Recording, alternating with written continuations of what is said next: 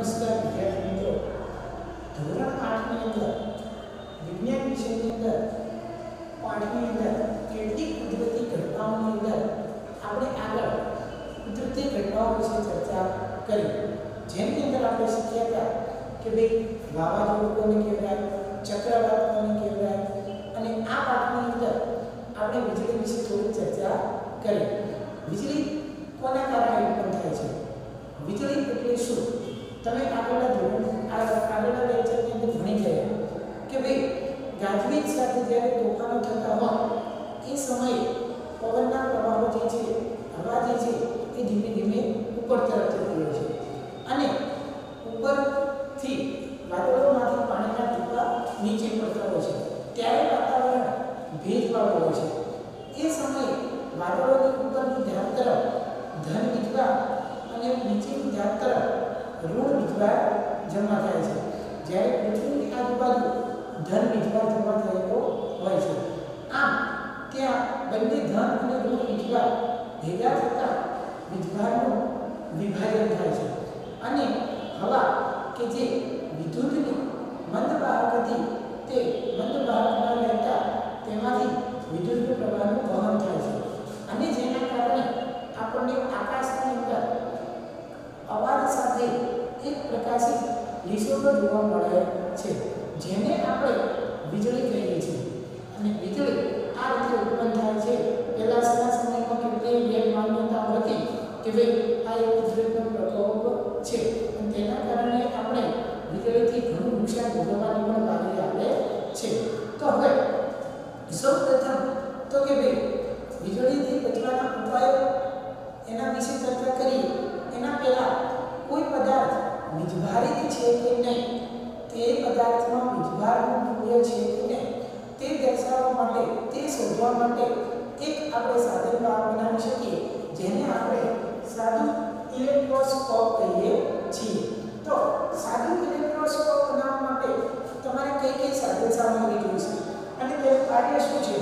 ઘણી વખત પરીક્ષાની અંદર પૂછાતું હોય છે સાદા ઇલેક્ટ્રોસ્કોપની આપણે કાર્ય તો સૌપ્રથમ સાદું ઇલેક્ટ્રોસ્કોપ બનાવવા માટે સાધન સામગ્રીની અંદર એક જામની બોટલ, એટલે કે કોઈ પણ કાચની પહોળા મોઢાવાળી એક બોટલ લેવાની છે, પારદર્શક, કે જેની આપણે આરપાર જોઈ શકીએ. પછી જે જામની બોટલ છે એનો જે મોઢાવાળો ભાગ છે, એનાથી સહેજ મોટું એક કાર્ડબોર્ડ લેવાનું છે, કે જેની અંદરથી સરળતાથી પેપર ક્લિપ પસાર થઈ શકે.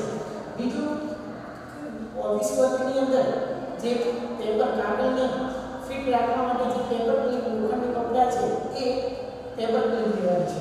અને એક વીજભારી એટલે કે એક રિફિલ લેવાની છે પ્લાસ્ટિકની. અને ચાર બાય એક સેન્ટીમીટરની બે એલ્યુમિનિયમની પટ્ટીઓ લેવાની છે. સૌપ્રથમ અહીંયા કીધું એ પ્રમાણે આકૃતિમાં દર્શાવ્યા મુજબ એક જાતની બોટલ જે છે કાચની બોટલ જે છે એ લો હવે એ કાચની જે બોટલ છે એ કાચની બોટલ ઉપર કાર્ડબોર્ડને આકૃતિમાં દર્શાવ્યા મુજબ મૂકવાનો છે પણ કાર્ડબોર્ડની અંદર ધારો કે આ જે કાર્ડબોર્ડ છે એની અંદર જે આપણે પેપર ક્લિપ જોઈએ તો આ ટાઈપનું તમને જોવા મળશે તો પેપર ક્લિપને જે બંને છેડાએથી ફિલ કરે અને એકદમ પહોળી કરે ત્યારબાદ કાર્ડબોર્ડની અંદર નીચે કામ પાડી પેપર ક્લિપના માપનું અને પેપર ક્લિપને આકૃતિમાં દર્શાવ્યા મુજબ દાખલ કરી નીચેના ભાગે એક બે એલ્યુમિનિયમ ફોઇલ એટલે જે પટ્ટી જે છે એ એલ્યુમિનિયમની જે પટ્ટી છે બંને પટ્ટીને નું માપ સરખું છે ચાર બાય એક સેન્ટીમીટર તે બંને પટ્ટીને આકૃતિમાં દર્શાવ્યા મુજબ લગાવી અને મૂકો ત્યારબાદ એલ્યુમિનિયમની પટ્ટી જે છે એ જામની બોટલ એટલે કે કાચની બોટલની અંદર રહે તે રીતે અહીંયા આકૃતિમાં દર્શાવ્યા મુજબ ઢક્કણને હવાચુસ્ત રીતે એટલે કે કાર્ડબોર્ડને હવાચુસ્ત રીતે મૂકી દો ત્યારબાદ હવે એક રિફિલ લેવાની છે એક રિફિલને પોલિથીનની કોથળી અથવા તો કે પોલિથીનનો ટુકડો અથવા ઊનના ટુકડા સાથે ઘસો આપણે આગળ અભ્યાસ કર્યો કે જ્યારે કોઈ પણ પદાર્થ છે એને જો પોલિથીનની કોથળી અથવા તો કે બે ઊનના કાપડના ટુકડા ઉપર જો ઘસવામાં આવે છે તો એ વીજભારી થાય છે તમે આગળ પ્રવૃત્તિમાં જોયું કે ભાઈ જ્યારે આપણે રિફિલને કોરા વાળ સાથે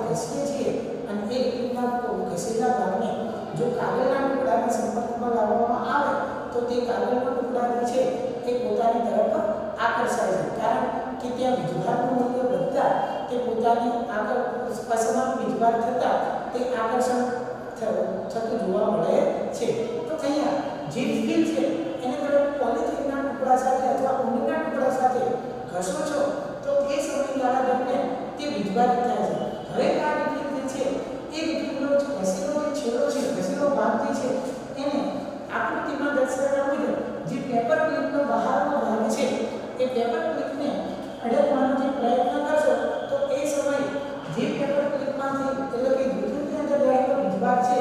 પેપર પ્લેટ કે જે લોખંડની બનેલી છે, એ લોખંડમાંથી વિદ્યુતનું વહન થતો હોવાના કારણે વીજભાર ત્યાંથી પસાર થતો હોવાના કારણે, એ વીજભારનું મૂલ્ય, એ લોખંડની ક્લિપ દ્વારા પસાર થઈ અને એલ્યુમિનિયમ ફોલ સુધી પહોંચે છે.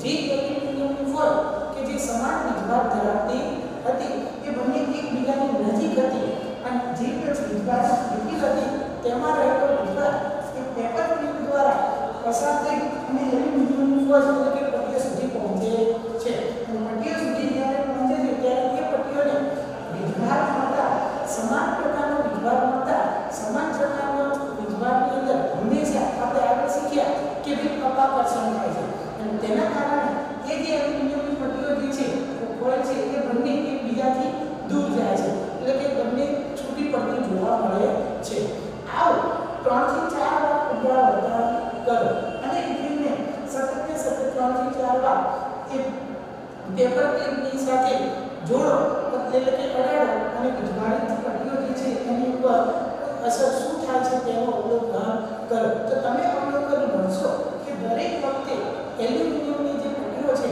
એ વીજભારના કારણે સમાન વીજભાર મળતા એકબીજાથી દૂર જાય છે. અને તેના ઉપરથી આપણે નક્કી કરી શકીએ કે ભાઈ વીજભારિત તરીકે જે છે એને હવે પોલિથીનના ટુકડા સાથે ઘસ્યા વગર જો એલ્યુમિનિયમની જે પટ્ટી અથવા તો કે જે છે, એના સંપર્કમાં લાવવામાં આવે, તો એલ્યુમિનિયમની પટ્ટી ઉપર કોઈ જ અસર જોવા મળતી નથી. તો આ જ્યારે વીજભારિત કરવામાં આવે છે, પોલિથીન કે ટુકડા સાથે ઘસવામાં આવે છે, ત્યારે મિત્રો, એ ફૂલ જે એલ્યુમિનિયમની ફોઇલ છે, પટ્ટીઓ છે, એ એકબીજાથી દૂર જાય છે સમાન વીજભાર મળવાના કારણે તેમની વચ્ચે આપક અપાકર્ષણ થવાથી બંને પટ્ટીઓ તમને દૂર જતી જોવા મળે છે હવે એ સમયગાળા થોડા સમય પછી પાછી એક રિફિલને એ રિફિલને ઊનના ટુકડા સાથે કે પ્લાસ્ટિકની પટ્ટી સાથે ઘસવાની છે જે રિફિલ છે.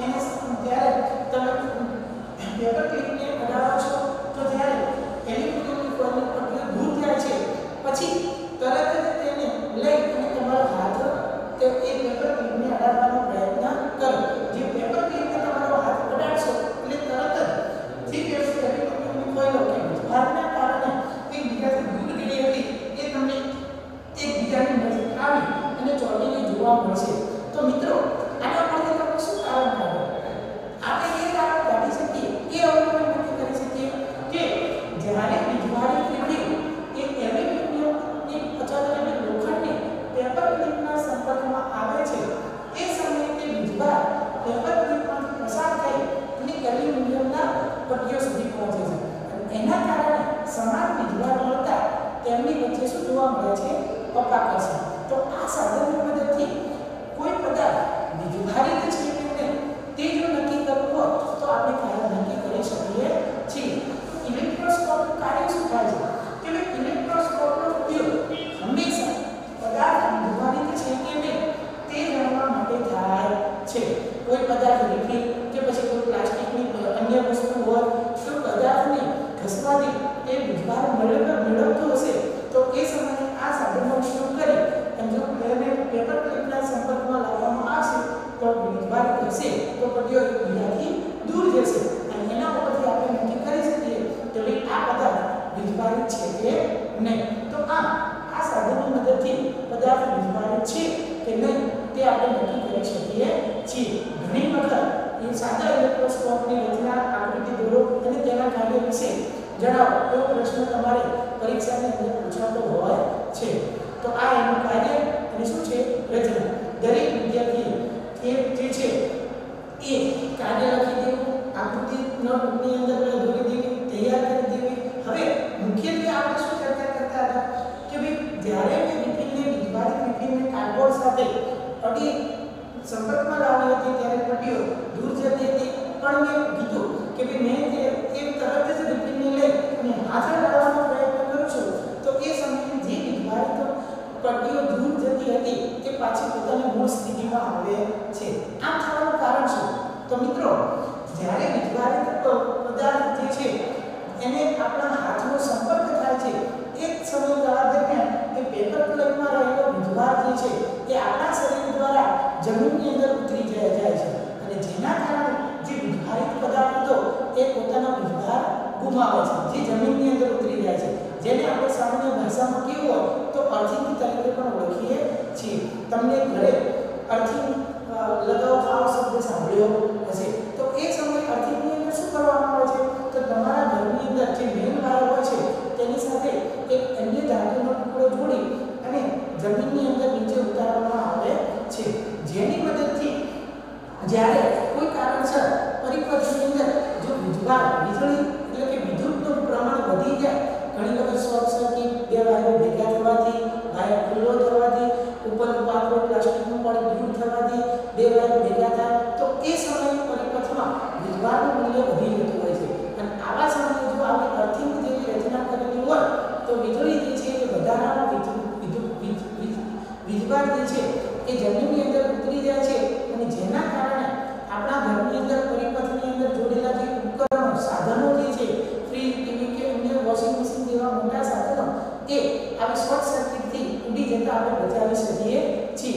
તો એટલે શું કે વીજભારિત પદાર્થની પૃથ્વીમાં વીજભારના વહનની ક્રિયાને આપણે અર્થિંગ કહીએ છીએ.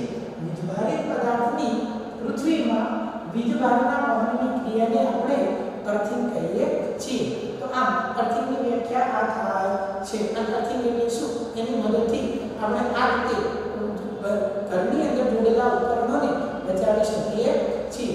હવે મુખ્યત્વે આપણે વીજળીની વાત કરતા હતા તો મિત્રો વીજળી જે છે એ વીજળીની મદદથી ઘણી વખત આપણે વીજળીના કારણે ઘણી વખત નુકસાન ભોગવવાની પણ વારી આવે છે ત્યાં સુધી કે ઘણી વખત કોઈ જગ્યાએ વીજળી પડવાથી આપણે મનુષ્યો કે પછી વનસ્પતિ કે અન્ય પ્રાણીઓને પણ મરતા જોયા છીએ તો વીજળીથી બચવા માટેના ઉપાયો શું હોય આગળ આપણે વીજળી વિશે શું ચર્ચા કરી ચૂક્યા છીએ હવે વીજળીથી બચવા માટેના ઉપાયોની અંદર જો તમે ઘરની બહાર હો ધારો કે કોઈ જગ્યાએ મુસાફરી કરતા હોય ગાડીની અંદર કે બસની અંદર અથવા કોઈ જગ્યાએ બગીચાની અંદર ફરતા હોય અને એ સમયે જો વીજળી પડવાની ઘટનાઓ ઉત્પન્ન થાય, તો એ સમયે પહેલું જ તમારે ઘર ગાડી કે પછી બસની અંદર હોય, તો એ સમયે તમારે તેના ગાડી અને બારણા બંધ કરી દેવા જોઈએ. જો તમે બગીચાની અંદર હો તો બગીચાની અંદર મોટા વૃક્ષો જે છે, એનાથી દૂર જવું જોઈએ. ઘણી વખત બગીચામાં ખુલ્લા તાર હોય, તો એના પર વીજળીનું વહન થઈ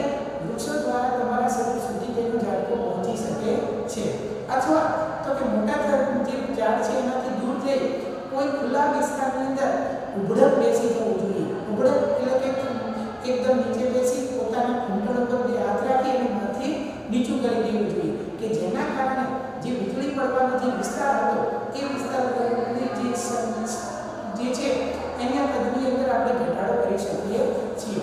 પછી બીજું કે જો તમે જેમ બને તેમ વીજળી પડ થતી હોય, તો એ સમયગાળા દરમિયાન તમારે છત્રી જે વરસાદની અંદર બહાર નીકળવું જોઈએ નહીં. કારણ કે છત્રીની અંદર મોટા ભાગે છત્રી બનાવવા માટેની જે ધાતુ છે એ લોખંડની હોય છે. અને લોખંડમાંથી વીજળીનું વહન થઈ શકે છે. આ ઉપરાંત કે જ્યારે ગાજવીજ થતો હોય, એ સમયગાળા દરમિયાન પહેલી જ્યારે ગાજવીજ થતો હોય એ મુખ્યત્વે વીજળી જે છે એ થવાનો આપણને સંકેત આપે છે. જેથી જેમ બને તેમ આપણે સલામત જગ્યાએ પહોંચી જવું જોઈએ. થોડા ઘરની અંદર કે સલામત જગ્યાએ હોઈએ દરમિયાન જ્યારે તમને છેલ્લો વીજળીના ગાજવીજનો ધડાકો સંભળાય, એના થોડા સમય પછી બહાર નીકળવું જોઈએ. જો તમે ઘરની અંદર હો, તો વીજળીથી બચવા માટે સૌપ્રથમ તો તમારા ઘરની અંદર રહેલા જે વિદ્યુતના ઉપકરણો છે, ટેલિફોન કે પછી ટીવી કે ફ્રીજ કે પછી અન્ય સાધનો છે, એની સ્વિચો ઓફ કરી દેવી જોઈએ. એટલે કે ચાલુ રાખવા જોઈએ નહીં. તેના કારણે વાયરની મદદથી ઘણી વખત એનો ઝાટકો તમારા સુધી પહોંચી શકે છે.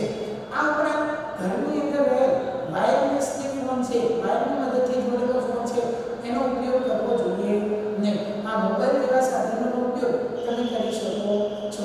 જેમ બને તેમ ઘરના બારી અને દરવાજા જે છે, એને બંધ રાખવા જોઈએ, જેથી આપણે વીજળીથી બચી શકીએ. હવે એક ઘણી વખત મોટા શહેરોની અંદર તમે જોતા હો છો કેટલાક ઉપાયો હોય છે. અને એની અંદર ધારો કે પહેલો ઉપાય છે કે વિધવારનું વહન